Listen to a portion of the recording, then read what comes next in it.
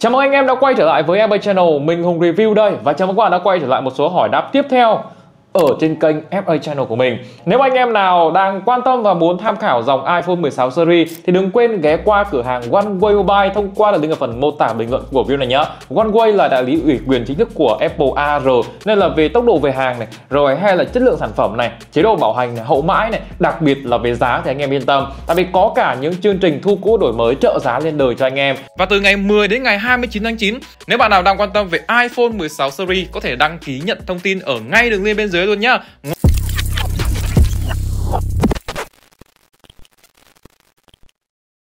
Rồi, bạn user sơ bạn ấy có hỏi mình là Thực ra thì cũng không phải là câu hỏi đâu. Nên là sẽ thế nào nếu chúng ta độ pin iPhone XR lên 5000 mAh?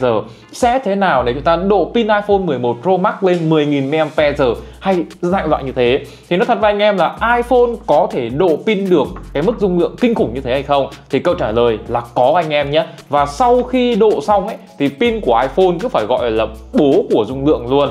Thực tế thì ở trên TikTok hoặc là ở một vài cửa hàng ở Hồ Chí Minh và Hà Nội đã có dịch vụ độ pin dung lượng siêu khủng cho iPhone của anh em rồi. Và với viên pin thì chúng ta có những viên pin như là 9.000 mấy trăm mAh này 15.000 mAh thì đã có thợ độ rồi. Và những con như iPhone 11, iPhone XR, iPhone 11 Pro Max, iPhone 12, 12 Pro Max hoặc là những dòng iPhone cao hơn hoàn toàn có thể độ được những viên pin siêu trâu. Thế thì làm sao để họ nhét được cái viên pin đấy vào bên trong con máy? Trong khi con máy nó chưa đến 1 cm mà cái cục pin 20.000 mAh ấy, thì nó phải dày hơn 2 phân rồi thì đó là họ đã dùng cách là họ sẽ tháo tung con máy iPhone ra, một cái tấm màn hình riêng và một cái tấm mặt lưng riêng. Họ thay cái cục pin dung lượng lớn vào, sau đó sử dụng một cái khung nhôm cố định, đấy, để tăng cái chiều dày của con máy và cố định cái màn hình lại ở phía trên cái phần khung nhôm đấy. Và đây là cái con iPhone trước khi chuyển đổi và sau khi chuyển đổi, anh em thấy rằng nó to khủng khiếp luôn. Đó, và chỉ có cách này thì mới có thể là độ được viên pin iPhone nó trâu đến như thế, nó khủng đến như thế. Và sau khi độ pin iPhone lên dung lượng cao hơn, gấp đôi, gấp 3 gấp 4 gấp 5 thì chắc chắn là thời gian sử dụng pin của nó sẽ cực kỳ khủng khiếp. Nếu mà bình thường anh em dùng iPhone tầm 6 7 tiếng mới hết pin, thì con này anh em có thể nhân 3 lên là 63 là 18 nếu mà anh em độ những viên pin hơn 10.000 mAh giờ có thể nhân 4 nhân 5 lên thì thời gian sử dụng pin hoặc là thời gian chơi game ấy thì phải nói thật với anh em luôn á, là mút mùa mà chưa kể pin trâu như thế nhá mà sạc iPhone có 20W à? Để sạc được con này, con pin đầy lên 100% thì anh em cũng tốn thời gian hơn gấp 3 gấp 4 gấp 5 lần so với lại viên pin bình thường. Thế nên là nói chung là kèo này vui vui thì cũng có vui đấy, nhưng mà phải có những nhu cầu sử dụng đặc biệt thì anh em mới nên độ. Rồi, và câu hỏi tiếp theo đến từ một bạn có tên là BTV9497 và mình định mua con Galaxy A05s hoặc A15 cho mẹ, không biết là nên mua chiếc nào hợp lý. Thực sự ấy, nếu mà phụ huynh mình nghĩ rằng là Galaxy A05 thì cũng được, mà Galaxy A15 thì nó lại càng ngon hơn. Và mình recommend bạn là nên mua con Galaxy A15 Galaxy A15 mình tham khảo tại OneWay thì mức giá bây giờ con này là khoảng tầm 4 triệu. Đó là 4 triệu 090 nghìn. Và nếu anh em qua OneWay đọc bát là FA Channel sẽ được giảm giá thêm hình như là 1200 anh em nhớ qua là nhớ đọc nhé thì với con Galaxy A15 và con A05s ấy, mức giá không chênh lệch nhau nhiều. Con A05s thì nó rơi vào khoảng tầm trên 3 triệu một tí 3 triệu 1, 3 triệu 2, 3 triệu 3 gì đấy. Còn con Galaxy A15 ấy thì nó lại là 4 triệu. Thì như vậy là khoảng cách chênh lệch nhau khoảng tầm là 700 ngàn 800 ngàn. Thì mình nghĩ rằng là nếu mà mua cho phụ huynh thì 7 800 ngàn là chúng ta có thể là cố được. Và khi mà lên con A15 ấy, thì mình thấy rằng nó có những cái ưu điểm hơn hẳn so với con A05s rồi. Thứ nhất là camera của nó ngon hơn. Thứ hai là hiệu năng của nó tốt hơn đảm bảo cho yếu tố là phụ huynh sử dụng lâu dài ngon hơn. Đấy và thứ ba là màn hình của nó đẹp hơn. Cái này là cái sử dụng hàng ngày này. sử dụng phụ huynh sẽ đỡ đau mắt hơn hoặc là xem những nội dung ở ngoài trời nó ok hơn. Chứ còn màn hình TFT hoặc là màn hình IPS LCD trong khúc giá rẻ của Samsung thì nó ở mức gọi là chống cháy thôi. Thiết kế nhìn cũng đẹp, cũng sang. Và đặc biệt là Samsung thì rất là dễ dùng, dễ sửa nên là mua cho phụ huynh là cực kỳ hợp lý. Rồi, câu hỏi tiếp theo đến từ bạn có tên là Kiệt Quốc. 12 Pro còn đáng mua không anh? Em đang xài XS nếu mà XS lên 12 Pro thì mình nghĩ rằng là có thể đáng. Nhưng đối với cá nhân mình mình sẽ không mua 12 Pro. Đấy, 12 Pro bây giờ tầm giá cũng phải tầm trên 10 triệu chứ đâu có rẻ đâu. Nếu mà trên 10 triệu mình mua con iPhone 13 ngon hơn.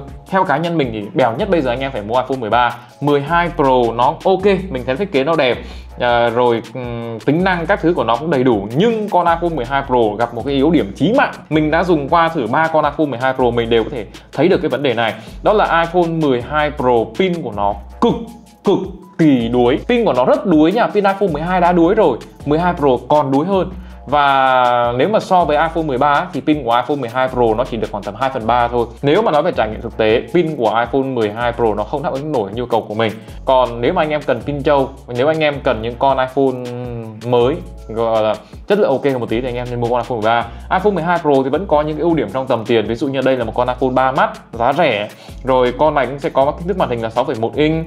Ờ, nói chung là cũng vừa đủ nhìn khả năng hiển thị của nó tương tự so với iPhone 13 thôi. Nhưng mà phần tay thỏ thì iPhone 13 sẽ nhỏ hơn một chút xíu xíu nha. Đấy về hiệu năng thì con này trang bị có chip Apple A14 nói chung là cũng ổn. Đấy ờ, về trải nghiệm các thứ thì con iPhone thì nó chỉ có như thế thôi nên là mình cũng không phải review thêm. Nếu bạn từ XS lên iPhone 12 Pro thì có thể gọi là update được rồi. Tại vì bạn sẽ nâng cấp lên một thiết kế mới này bạn nâng cấp thêm một hiệu năng mới này. Và với con XS thì pin nó quá đuối nên là bạn lên iPhone 12 Pro thì mình thấy là không có sự khác biệt gì nhau quá nhiều.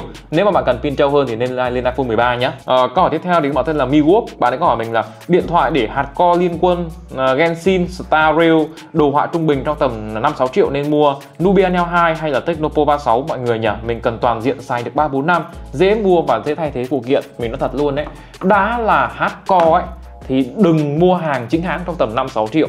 Mình nói thật nếu mà hardcore chính hãng ấy, thì phải tầm trên 7 triệu. Đó là con Poco ờ, uh, X6 Pro. Con đấy là hardcore bình thường hay là anh em muốn dùng kiểu gì cũng được quá hoàn hảo. Nhưng mà tầm 5 6 triệu anh em trả một lựa chọn thì hợp lý cả.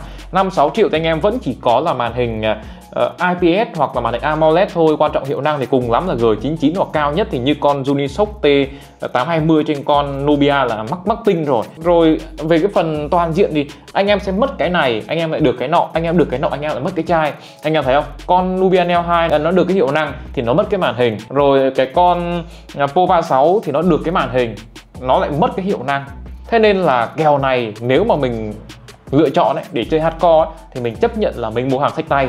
Có chế thông báo một tí cũng được dùng phiền phiền một tí cũng ok. Chứ còn Nubia Neo 2 với cả Po 36 nếu mà nói về cái việc là dễ dàng thay thế lựa linh kiện phụ kiện khi mà sử dụng ấy thì nó thật với anh em nhiều khi nó còn hiếm hơn cả sách tay tại vì cái con này số lượng bán ở Việt Nam cũng không quá nhiều. Rồi và những cái máy mà những cái bên nhập phụ kiện phụ tùng về ấy, cũng ít. Ở Việt Nam mình thấy rằng có rất nhiều cửa hàng nhập uh, ờ, linh kiện phụ kiện Xiaomi uh, hàng sách tay. Nhưng mà nhập những con Tecno hoặc nhập những con Infinix hoặc nhập những con Nubia ấy, thì quá hiếm luôn. Đấy thế nên là kèo này thì mình recommend bạn mua con uh, Turbo 3 cũng được hoặc Redmi Note 12 Turbo cũng ok hoặc K70e thì càng tốt.